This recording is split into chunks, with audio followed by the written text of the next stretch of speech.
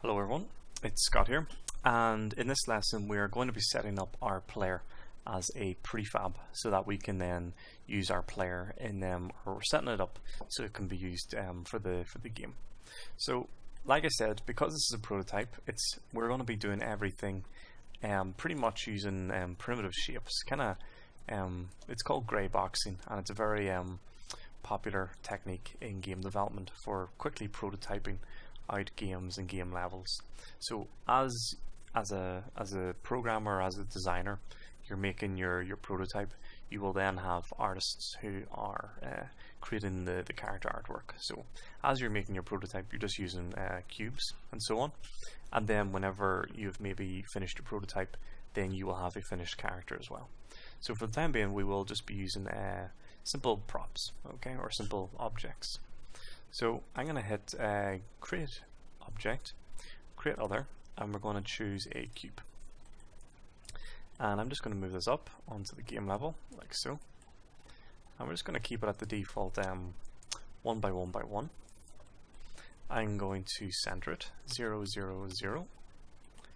And then I'm going to hold down the V key, and I'm just going to make sure that he is on the floor. It's really important that he is on the floor and just make sure again the X position is 0.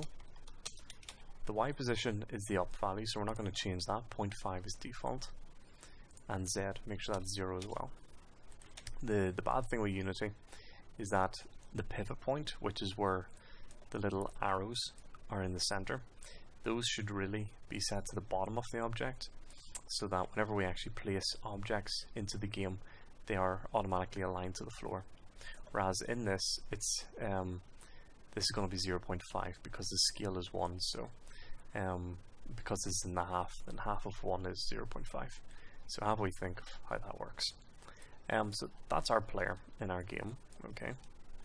And then we're going to go to materials, and you should already have the m underscore player created. If not, just right click and create new material. So this is going to be our player color. So I'm just going to drag that on like so. Okay, so that's something I kind of like. Okay, the next thing we're going to do is we're going to rename this to player. And then we're going to, uh, let's have a think. This character is going to work with physics, so if he bumps off objects, um, he'll actually block off walls and he'll be able to hit enemies and so on. So for this we need to apply uh, physics to this object. And very simply, this is done through a component.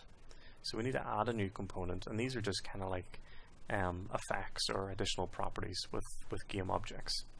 So we're going to go to physics, and we're going to choose something called rigid body. This means that he will have a body of physics kind of um, encompassing the, the object. So we're going to click on that. So now this guy will actually be affected by physics.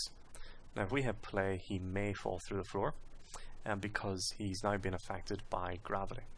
However, because there's no real gravity in this game, we're just going to tick that off. Then there's another option we're going to tick called kinematic. And apart from that, we don't need to set up anything else. Okay. So with that, that's our player pretty much set up. Um, he's called player. Now, he's we're going to be setting this up so that he's going to be traveling down the, the Z axis, okay? So you see this blue arrow corresponds to Z. Now what I'm going to do is in the prototype that I've been building on the side, I've been making a little object um, which shows what way the player is actually facing. So what I'm going to do is, with my player selected, I'm just going to go to Edit and Duplicate. And with that duplicate, I'm just going to pull that out. And I'm going to call this uh, Weapon or Face or whatever. So I'm just going to call that weapon. I'm going to scale it. Uh, point 0 0.2, 0 0.2, 0 0.2. Maybe 0.4. This is just to say exactly where the player will be facing. And I might just put in like that, okay? It doesn't matter that it's kind of cross um, hitting that, okay? Then I'm going to go to my m underscore gun and just drag that in. So it's just, again, it's just a color. I might actually change it to a red. And then we're, what we're going to do is wherever the player moves, we need to make sure the weapon follows. So we're going to click and drag on weapon and, and drag that into player. So again, these hierarchies, really important. It's going to undo that. So he's back at uh, 0, 0 0.5 and 0. The next thing I'm going to do is I'm going to click on weapon and I'm just going to kill this box collider. I'm going to right click and remove the component. That means that there will be no um, kind of physics or collision associated with this object because it's just a visual representation as opposed to the player which does have a collider around it. You can see the, the green box and it also has physics applied. So the child will kind of inherit some of the properties of this box. Um, and with that, that's our that's our player pretty much set up. Let me just see if there's anything else we need. Um, okay, we're going to now tag this object. Um, so what tags are, it's kind of like a, um, it's mainly used for collisions. So whenever maybe enemies hit objects, it needs to know what kind of object this is. And these are just used called, these are just uh, tags, okay? So we're just going to uh, set this to player because it's already set up in there. So I'm just going to hit on player. So this has like a, a, group name of player, and you'll see why this is more important uh, later on in the in the lessons.